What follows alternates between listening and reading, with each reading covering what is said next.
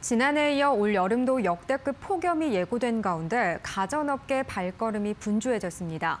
에어컨 신제품을 앞당겨 출시하고 할인 혜택도 늘린 건데요. 영화의 날씨 속 펼쳐지고 있는 에어컨 판매 경제 현장을 김종호 기자가 다녀왔습니다.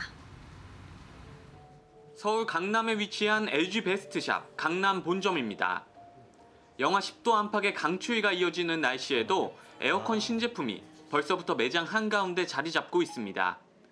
LG전자는 지난달 LG 휘센타워 에어컨 신제품을 선보였는데 에어컨이 스스로 필터 등을 관리하는 하이브리드 청정 관리 기능을 탑재해 소비자 이목을 사로잡습니다.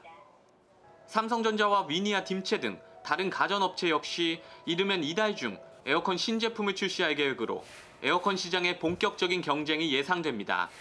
이처럼 가전업체가 에어컨 출시를 서두르는 것은 지난해에 이어 올 여름도 역대급 더위가 예고됐기 때문입니다.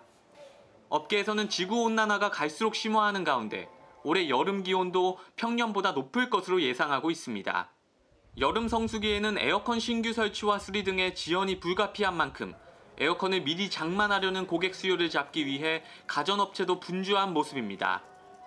여름철만 되면 에어컨 설치가 많이 밀리는 상황이기 때문에 연초부터 미리 구매를 하시려는 분들이 많아지고 있습니다. 에어컨 구매 고객을 겨냥한 큰 폭의 할인 혜택도 이어지고 있습니다. LG전자는 에어컨 신제품을 구입한 고객에 80만 원 상당의 캐시백 혜택을 내걸었습니다. 전자랜드도 에어컨을 미리 장만하는 고객을 대상으로 최대 36개월 무이자 혜택을 제공합니다. 지난해 무더위 속 역대 최고 수준의 에어컨 판매량을 기록한 가전업계는 올해도 지난해와 비슷한 수준의 실적을 기대하고 있습니다. 최근 폭발적인 에어컨 성장세를 이어가기 위해 가전업체는 친환경 스마트 기능 강화에 집중하고 있습니다. 올해도 여름 특수를 톡톡히 누릴 수 있을지 관심이 쏠립니다. 이데일리 TV 김종호입니다.